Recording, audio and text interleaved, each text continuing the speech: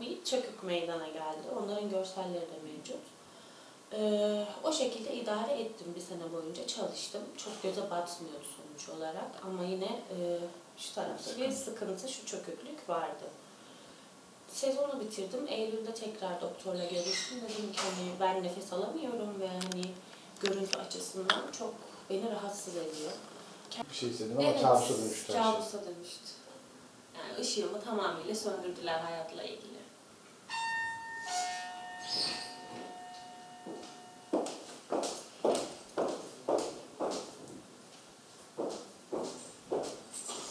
Bir gelecek vaat ediyordu o meslek bana. Belki yurt dışına gitmek gibi, temsil etmek gibi Türkiye'yi ama çalışamadım. Hani düğün de yapamadım, eğlenemedim.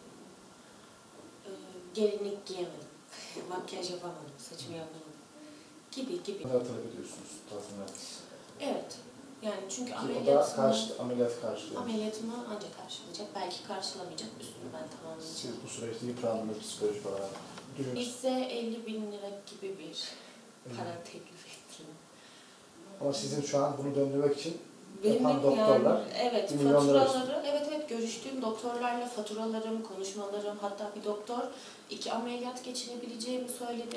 Ee, her ameliyat başına 50 bin euro gibi mesajlarımda hepsi mevcut zaten olsa da. Ne kadar şanslısın diye alaycı bir şekilde kendini korumaya çekti. Ben dedim hani dava açacağım size bilginiz olsun istediğin kadar açabilirsin dedi. Böyle bir özgüvenle. Sonrasında geldiği son nokta bu. her defasında daha kötü olan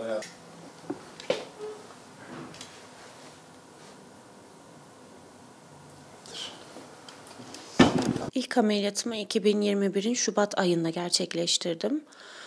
6 ay sonrasında tıpta da geçer adıyla papağan buruna dönüştü. Ee, sonrasında doktorla görüştüğümde hatasını kabul edip ikinci ameliyatı teklif etti. Onarmak için rinoplasti. Ben de tamam dedim. İkinci ameliyat olduğumda sol burnumun kanadında bir çökme meydana geldi. Tekrardan bir nekroz kaybı yaşadım. Bir sene boyunca, e, bir senede iki kere narkoz aldığım için bir sene boyunca tekrar ameliyat olamazdım. Ve bekledim. 2022'nin Eylül ayında son ameliyatımı gerçekleştirdim ve komple burun ucunda nekroz kaybı yaşadım. E, bu nedenden dolayı düğünümü ertelemek zorunda kaldım. Tekrar ameliyat olup düğün yapmak istedim. Çalışamadım. Ee, yani tamamıyla ışığımı söndürdüler ve aynı zamanda doktor dalga geçermişçesine e, sen de ne kadar şanslısın gibi bir cümle kullandı. Ee, yani hayatım komple karardı ve bitmiş oldu. İstanbul'da tekrardan özel bir poliklinikte doktorla görüştüm. Zaten artık estetik olarak geçmiyor. Plastik cerrahi olarak işlem yapılması gerekiyor. Ee, Kendisiyle görüştüğümde çok büyük bir meblağ talep etti benden ve ben o meblağı şu an karşılayamıyorum. Yaklaşık bir milyona yakın bir para talep etti. Hepsinin faturası zaten görüştüğüme dair mevcut dosyamızda. Şu anda onu karşılamayacağım. Karşılayamam yani. Zaten düğün konusu beni yıprattı. Ailem, akrabalarım, eşimin keza ailesi akrabaları. Biz güzel bir şey beklerken hayatımız tamamıyla berbat hale geldi ki çalışamıyorum. Bu süreçte de doğal olarak ekonomik özgürlüğümü de elime alamıyorum. Ee, dışarıya çıktığımda insanlar öcü gibi bakıyor bana maalesef. Keza aynı şekilde otelde çalışıyordum. Çocuklarla ilgileniyordum. Turizmciyim. Çocukların korkuları yüzünden çalışamıyorum. Herhangi bir yere gittiğinizde tamamıyla dış görünüşünüze bakarak sizi işe alıyorlar. Dediğim gibi yani hayatımda komple ışığım sönmüş durumda. Gülizar Hanım'ın hukuki sürecinin e, başından beri avukat olarak ben takip ediyorum. E, Burada bu işlemi yapan doktorun hem cezai hem hukuki sorumluluğu var.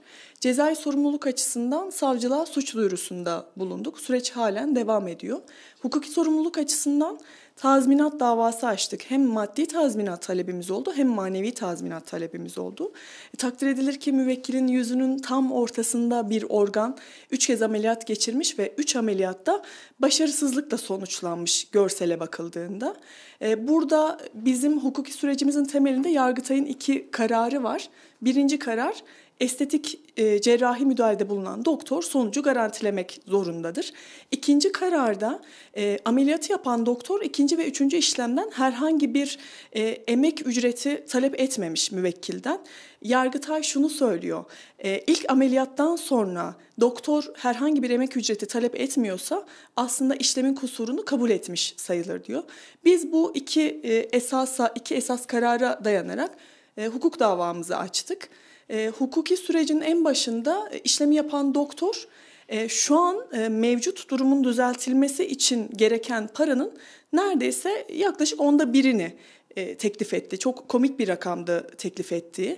Müvekkil tekrar kendisine bir cerrahi işlem yaptırmak istemiyor çünkü artık arada e, doktor ve hasta ilişkisinin temel kaynağı olan güven ilişkisi de zedelenmiş durumda.